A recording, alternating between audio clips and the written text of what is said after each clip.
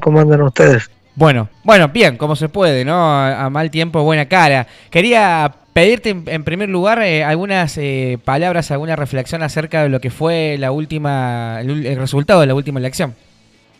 Bueno, eh, la verdad que nosotros teníamos otra expectativa, expectativa de que Sergio fuera el presidente en los próximos cuatro años de la Argentina. no se dio, la sociedad tomó otra opción, con mucha tranquilidad.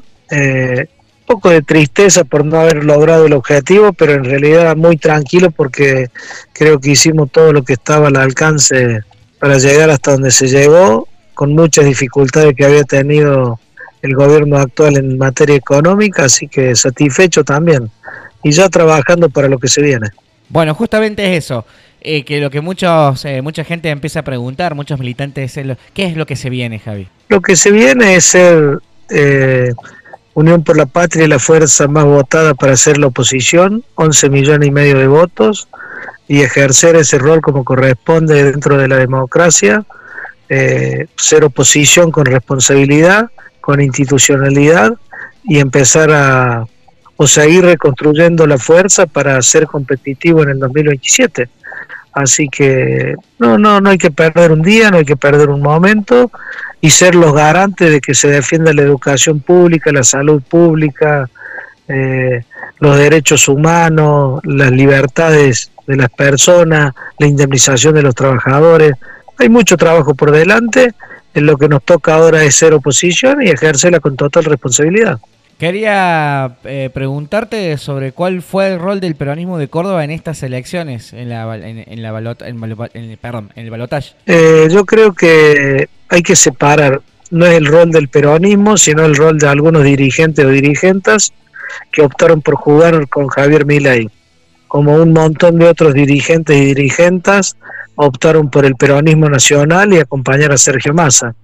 Eh, los que han jugado con Javier Milei desde, desde apoyarlo tácitamente o desde ser presidente, no son los dueños del peronismo de Córdoba, son una parte del peronismo, son dirigentes que se arrogan la representatividad del peronismo. Es como si nosotros los robáramos la representatividad del peronismo de Córdoba. No, somos una, una parte, un, un tercio, medio tercio, la verdad que eso habría que ponerlo en número, pero eh, los que optaron por Javier Milei, ellos tendrán que rendir cuenta políticamente hablando, ¿no? Nosotros estamos absolutamente tranquilos, arrancamos una elección con 6 puntos, terminamos con 27, 28 puntos. Eh, la verdad que impresionante el trabajo de los compañeros y las compañeras de Unión por la Patria en la provincia de Córdoba, con todo lo que se jugaba en contra para, para nuestra fuerza, ¿no?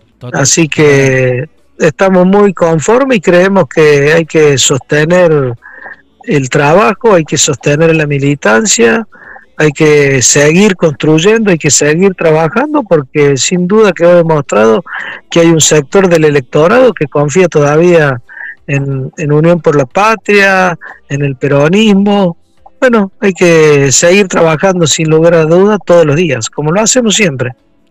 El, los otros bastiones de resistencia pueden ser la Cámara de Diputados y la Cámara de Senadores. Sí, el bastión de resistencia es el lugar que le toca a cada uno. Mira, yo estoy viajando en estos momentos a Buenos Aires porque mañana eh, me juntaré con el presidente de Linares y como corresponde ponemos la renuncia ya a partir del 10 de diciembre y empezamos a transitar en el lugar que nos corresponda si es el llano, el llano y no es ninguna función pública, desde ahí va a ser un lugar de resistencia también, como lo hacen montones de compañeros y compañeras todos los días, no tienen cargo público y resisten, trabajan, luchan, militan. Bueno, eso es lo que nos toca a, cada uno de nosotros. A partir del 10 de diciembre nos tocará estar en el lugar que nos toque estar. Si en la actividad privada, de vuelta en la actividad privada como lo ejercimos hace años, y desde ahí resistiremos, acompañaremos a quien conduzca el proceso de la oposición y, hay que seguir trabajando. No se ha terminado nada. Digo, hay que tomar nota de lo que pasó, eh, hay que hacer una autocrítica interna, porque si uno lo hace hacia afuera sería un hecho político, y y seguir para adelante. Creo que tuvimos un candidato que fue el mejor que podíamos tener y creo que las expresiones de Sergio el domingo a la noche quizás la tenga que repensar porque yo estoy convencido que puede seguir siendo un gran dirigente y líder de la oposición, ¿no? Claro. Eh, quería justamente preguntarte, más allá de que hay un montón de cuestiones de autocrítica que siempre son hacia adentro, eh, mucha gente que pregunta que, qué faltó, qué, qué pasó que, no se llegó a los puntos deseados, por ejemplo, en Córdoba. Yo creo que, no es solo Córdoba, es, a nivel nacional. Eh, hemos tenido un revés electoral y creo que lo que más influyó en el último tiempo es la economía. los asalariados, los, vos fíjate los trabajadores no registrados y trabajadoras fueron los que más votaron a mi ley. Entonces hay un cúmulo de, factores que se dieron y que está vinculado a la economía. No pudimos eh, revertir la situación económica que traía la Argentina en el 2019, se nos agravó con la pandemia, se nos agravó con una guerra y nos terminó de rematar una sequía la más grande de los últimos 100 años. Y hemos hecho esfuerzos y, eh, impresionante, hicimos un gasoducto en ocho meses, eh, tratamos de revertir la crisis energética para que haya superávit de dólares, bueno, hicimos todo lo que estaba, no alcanzó, no alcanzó, si vos me preguntabas hace un año atrás si éramos competitivos, todos te decían que estábamos fuera de carrera, llegamos a los balotas, perdimos por ocho puntos, sacamos 11 millones y medio de votos, recuperamos 4 millones de votos desde el 2021 al 2023. Entonces, bueno, eh, es así, no, no hay mucho más para, para decir. Tenemos, eh, bueno, en línea Javier Taborda, actual, bueno, funcionario nacional del INAES. Javier, quería también preguntarte, bueno, justamente esto. Eh, también, ¿no? Hay una perspectiva para, para las 2025. Yo sé que es muy pronto, pero como en política nunca se frena. Este, esto de la recuperación de muchos votos que se habían perdido da también una proyección para revertir la situación de cara al 2025. Hay que trabajar, Misael, hay que ya empezamos a trabajar. Ya la semana que viene nos seguimos reuniendo con los compañeros. El día miércoles vuelve Juanjo Álvarez a Córdoba para charlar con los compañeros y las compañeras. Y hay que seguir trabajando. Digo, está en discusión, ojalá no ocurra. Eh, la justicia social en este país está en duda. Si tiene una necesidad, no existe un derecho. Está en duda la educación pública, ya dijeron que van a privatizar IPF, entonces eh, hay que trabajar. El, rol que no ha puesto la sociedad en este momento a nosotros es ser oposición.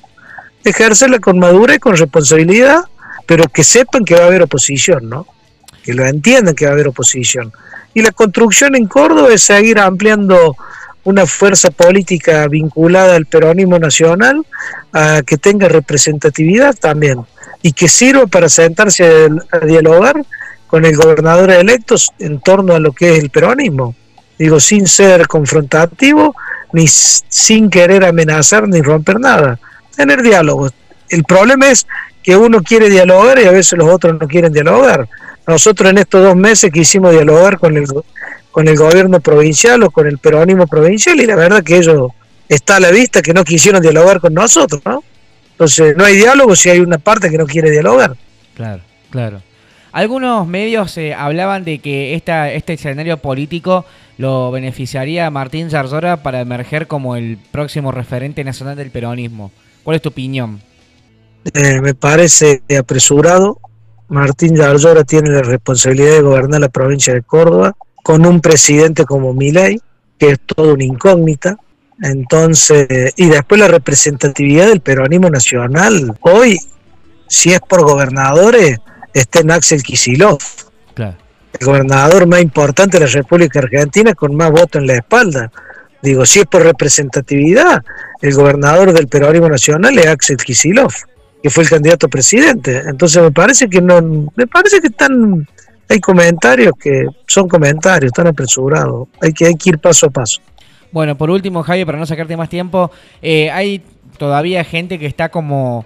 Eh, eh, como hay abuchada, un poco todavía dolida, que está como todavía intentando asimilar esta, esta nueva realidad, este nuevo escenario político, sobre todo un montón de militantes, ¿no? Que, que están conscientes de, de, lo que se viene. ¿Qué mensaje le dejas a ellos? hay que reponerse, hay que seguir para adelante y que tenemos que estar todos juntos, juntas más que nunca, para poder defender todo lo conseguido hasta acá. Mientras no se metan o no pasen la línea de los derechos conseguidos por esta sociedad, no va a haber problema. Digo, el momento que quieran pasar la línea, creo que ahí va a estar, hay que ejercer la oposición que corresponde. Así que hay que seguir. Como nos repusimos del 2015 en el 2019, tendremos que trabajar para reponernos en el 2027. Eh, pero hay que estar tranquilo. Vuelvo a decir, hicimos todo lo que estaba al alcance, tuvimos el mejor candidato, el candidato dejó todo, todo lo que había que dejar, hizo todo lo que había que hacer. Bueno, la sociedad entendió que era un momento de darle la oportunidad a, a otro espacio político, hay que aceptarlo y hay que seguir trabajando.